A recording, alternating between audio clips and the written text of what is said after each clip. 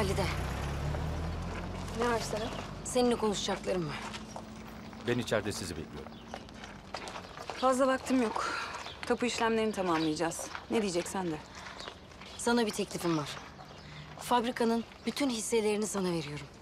Bundan böyle Dinç Aslan fabrikasının tek sahibi sen olacaksın. Ayrıca çiftlik arazisinin dışındaki bütün tarlaları da sana devrediyorum. Oradan alacağın hasılatla fabrikayı zenginleştirebilirsin. Kazandığın parayla da çok kısa sürede kendine çok daha güzel bir çiftlik alabilirsin. Ama çiftliği bana bırakacaksın. Muzaffer Ali orada büyüyecek. Bitti mi? Bitti. İyi. O zaman önümden çekil. İşlemleri tamamlayacağım. Halide.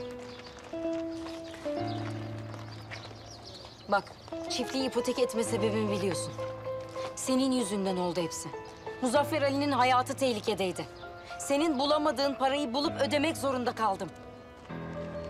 Ee, E'si bu durumdan faydalanıp çiftliği alman hiç adil değil. öyle mi? Senin de abimle evlenip çiftliğe hanım olman hiç adil değildi değil mi?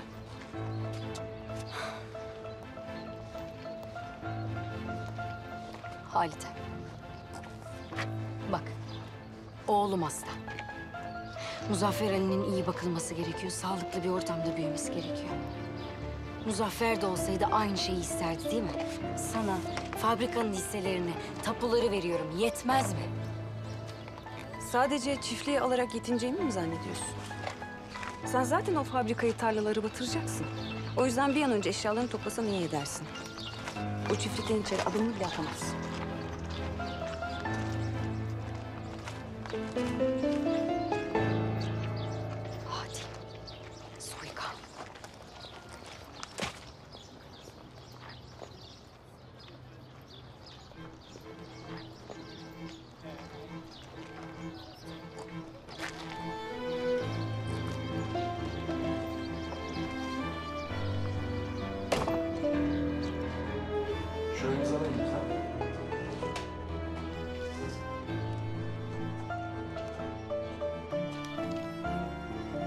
Şurayı da.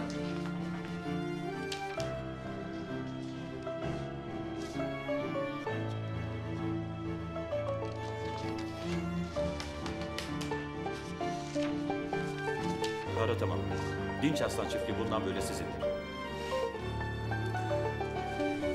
Teşekkür ederim.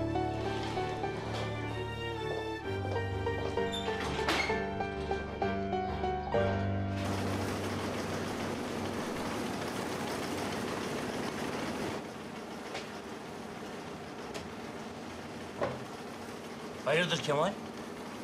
Bir sorun mu var? Dün gece çok düşündüm usta. Dediklerinde haklıydın. Güllü'nün çiftlikte yaşadığı hayattan sonra benim onu mutlu etmem çok zor. Hem Ali hasta. iyi bakılması lazım. Çiftlikteki kadar olmasa da onlara iyi bir hayat sunmam lazım. Usta diyeceğim o ki... Benim paraya ihtiyacım var usta. Ne yapmayı düşünüyorsun peki? Bilmiyorum usta. Bilmiyorum. Belki başka bir iş bulacağım. Daha iyi maaşı olan. Belki ek bir iş. Belki gündüzleri atölyede, geceleri fabrikada çalışacağım. Ya da yine şoförlük yapacağım. Bilmiyorum işte usta, bilmiyorum. Ama bir yolunu bulmam şart. Ortalık karışık Kemal. Adana'da kaç tane fabrika kapandı biliyorsun. Herkes iş arıyor. Bir yolunu bulacağım usta. Bulacağım.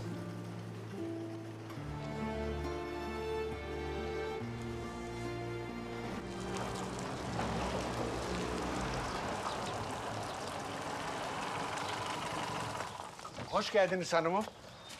Hoş bulduk Yasemin. Misafiriniz var. Kimmiş? Seher Hanım.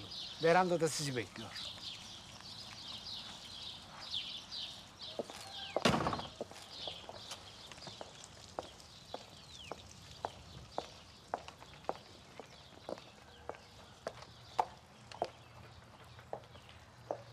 Seher?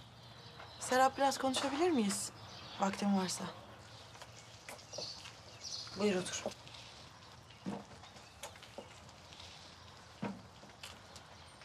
Başına gelenleri duydum. Çok üzüldüm. Bilmeni istedim. Öyle mi? Serap, ben artık bu aramızdaki husumet bitsin istiyorum. Geçmişte olanlardan dolayı çok pişmanım.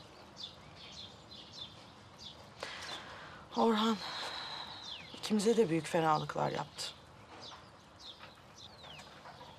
Ben bir dönem bunlara alet olarak büyük bir hataya düştüm. Hem ona hem Halide'ye. Halide senin arkadaşın. Öyle değil mi? Hayır. Hiçbir zaman olmadı. Sadece kendi çıkarları için kullandı beni. Tıpkı şimdi abime yaptığı gibi.